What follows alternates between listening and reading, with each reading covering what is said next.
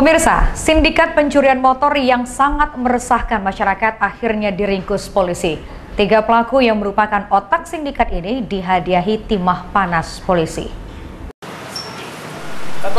Kepolisian wilayah hukum Polresta Barelang berhasil mengungkap pelaku pencurian sepeda motor yang kerap beroperasi di beberapa lokasi di kawasan Batam. Dari tangan para pelaku, 29 unit motor berbagai jenis berhasil diamankan. Menurut Kapolresta Barelang Kombes Pol Helmi Santika, penangkapan pelaku merupakan kerja keras semua polsek-polsek yang berada di wilayah hukum Polresta Barelang. Selain karena melawan saat ditangkap, tembusan peluru panas di kaki para bandit ini dinilai akan memberi efek jerah pada para pelaku.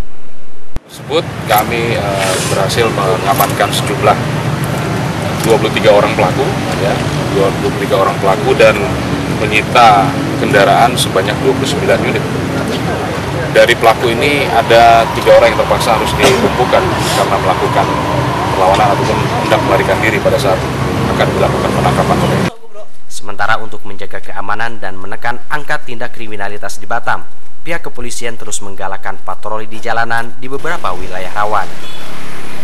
Dari Batam, Gusti Yonosa, MNC Media, melaporkan.